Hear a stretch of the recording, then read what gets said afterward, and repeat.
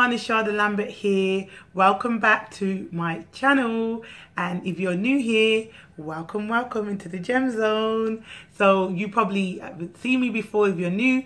So I'll introduce myself just for you, okay? My name is Shada Lambert.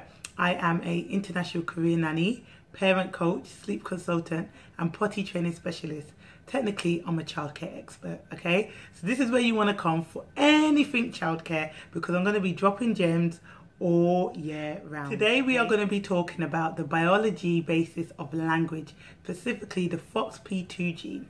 You guys know I'm already quite nerdy and I just love everything to do with child development and also the biology of language and communication and learning about the brain and psychology and all those things. I don't want to bore you, but I'm going to give you some tips on the FOXP2 gene and also the biology of language. So stay tuned. So talking about the localization hypothesis, there's specific areas of the brain that are associated with specific functions. The larynx, also known as the voice box, is the area that connects the throat to the windpipe. When infants are born, the larynx sits high up in the throat. As they get older and they develop, the larynx falls and that allows children to speak. So let's talk about the FOXP2 gene.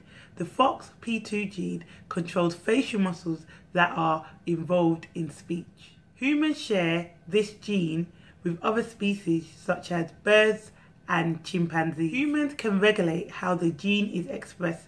That's why chimpanzees and birds can't speak, but we can. Children with impaired language have an impaired FOXP2 gene. Researchers such as Bowers indicated that there's a sex difference with the FOXP2 gene. So what does this mean? It means that boys are more likely to have a language development or delay rather than girls. If you want to know more about the biology basis of language, if you're a bit geeky like me, then I will say research on the FOXP2 gene and the localization hypothesis.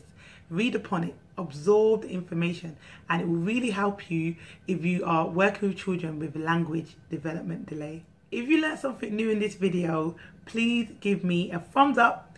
Don't be afraid to comment below, okay? And share it to your friends and family or your other childcare experts or professionals that you think might find it useful. And you know where to find me, guys. I tell you all the time on all social media platforms at Nanny Sharz. Take care, and I'll see you soon.